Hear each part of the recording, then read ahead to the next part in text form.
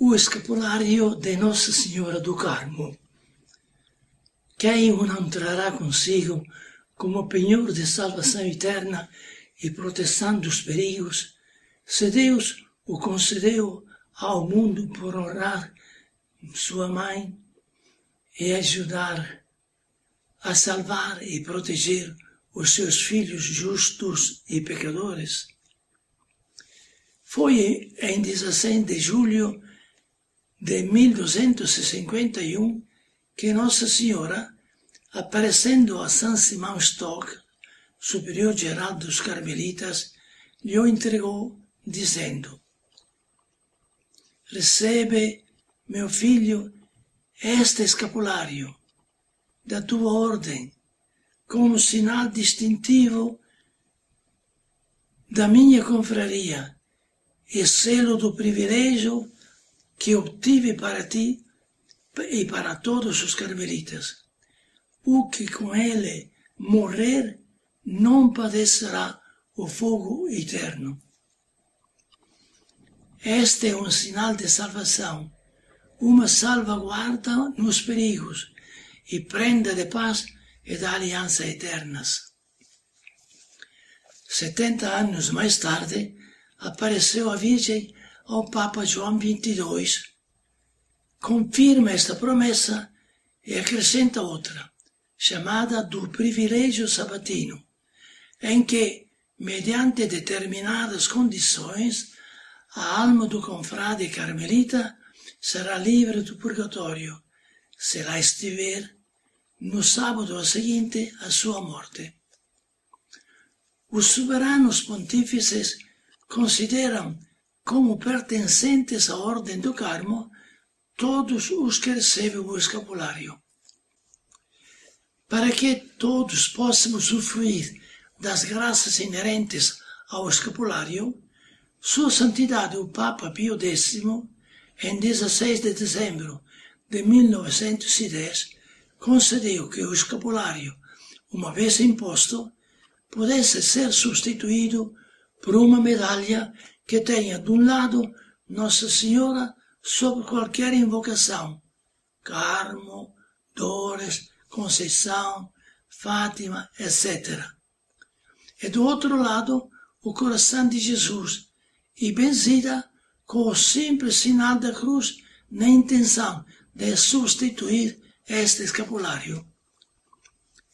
Em 28 de janeiro de 1964, o Papa Paulo VI concedeu ainda que todos os sacerdotes pudessem impor o escapulário e substituí-lo pela respectiva medalha, pois até aí era privilégio dos padres carmelitas e de outros sacerdotes que o pedissem à Santa Sé. E nisto se mostra o desejo da Santa Igreja de que todos o tragam. Condições. Primeiro, para a primeira graça, isto é, ser livre do fogo do inferno, a mais importante, ter recebido este escapulário imposto pelo sacerdote e trazê-lo ou a medalha que a substitui. Morrer com ele ou com a medalha, o que significa que se saiu deste mundo em estado de graça santificante. Segundo, para a segunda graça, isto é, o privilégio sabatino, ser liberto do purgatório no primeiro sábado depois da morte, se para lá se foi. Além das condições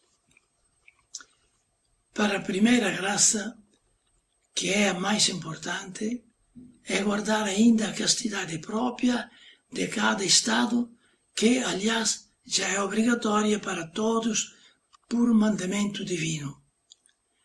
Rezar, sabendo ler, todos os dias o pequeno ofício de Nossa Senhora, ou, se não se sabendo, abster-se da comida e da carne nas quartas-feiras e sábados.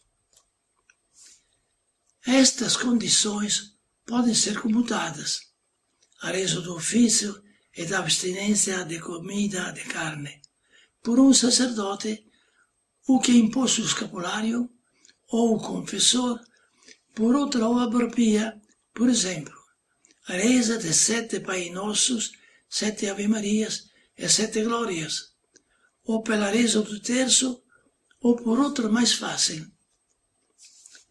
Quem reza o terço todos os dias, esse vale, sem ser preciso mais nada, podendo aplicá-lo por todas as intenções costumadas. O sacerdote que reza o ofício divino também já cumpre sem ser preciso outra comutação. Aos homens e às crianças, que normalmente rezam menos que as mulheres, pode-se comutar por três Ave-Marias rezadas diariamente. Assim aconselhava o Santo Padre Cruz, que foi um grande apóstolo do escapulário. Quem o pode receber?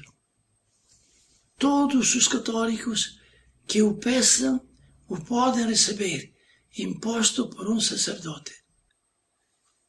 Podem o receber ainda as crianças batizadas, mesmo inconscientes, e os doentes destituídos dos sentidos, pois parte-se do princípio que, se conhecessem o seu valor, o quereriam receber.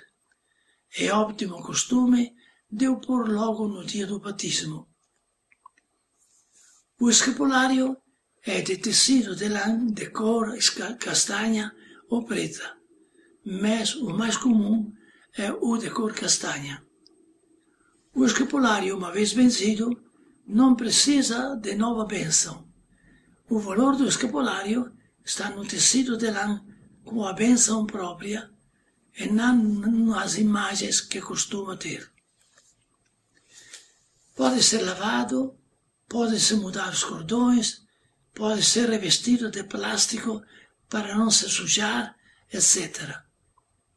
Devemos andar sempre com ele, ou com a medalha, e, sobretudo, tê-lo à hora da morte. Nunca o deixemos, mesmo ao tomar um banho.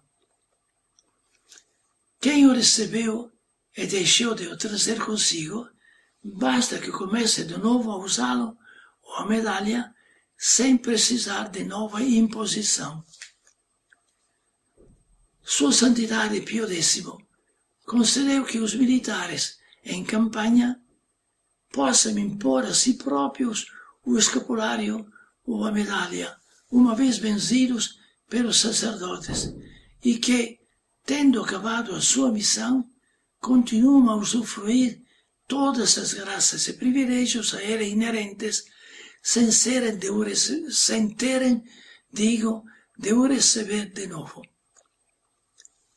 Certamente que o escapulário não dispensa dos sacramentos, que são os meios instituídos por Nosso Senhor como via normal para nos santificar nem dispensa da prática das virtudes. Não mete no céu as almas em pecado mortal, mas ajuda a bem receber os sacramentos e a conversão da alma e a perseverar no bem. Ajuda a sair do estado de pecado mortal, onde houver um mínimo de boa vontade. O escapulário do Carmo é um dom misterioso, misericordioso do céu, obtido por intercessão da Mãe da Misericórdia, já que os justos e os pecadores custaram o sangue de Jesus e as lágrimas e dores de Maria Santíssima. Caros irmãos e irmãs, Jesus já tinha dado a sua vida para nos salvar, mas desejando salvar todos os homens ao longo dos séculos, enviou muitas vezes Nossa Senhora, sua e nossa mãe, com mensagens divinas, cheias de grandes promessas, para colaborarmos com eles na salvação das nossas almas. Quantas aparições de Jesus e Maria nestes dois mil anos de cristianismo. Lembremos que Nossa Senhora do Carmo, aquela senhora que apareceu em 1251 a São Simão Stock, apareceu também aos pastorinhos de Fátima. Aceitemos o convite de Maria e comecemos a usar, se ainda não usamos, os escapulários do Carmo. A bênção de Deus Onipotente e Misericordioso, Pai, Filho e Espírito Santo, desça sobre vós, por intercessão de Nossa Senhora do Carmo, e permaneça para sempre. Amém.